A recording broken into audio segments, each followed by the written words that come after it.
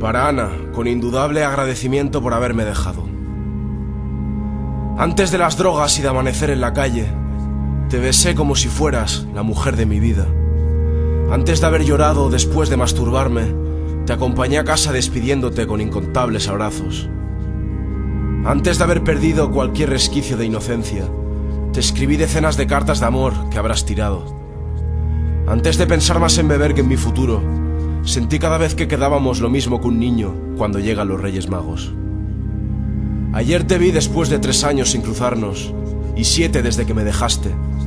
No nos saludamos y eso no me importa, pero sé que tú no has cambiado interiormente y yo, si no hurgas en mi fondo, estoy irreconocible.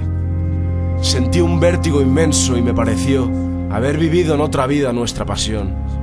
Pero tu tímida y camuflada sonrisa no engañaba. Antes de tener ideales y de no creerme a la primera, te quise con una pureza que ojalá añores algún día.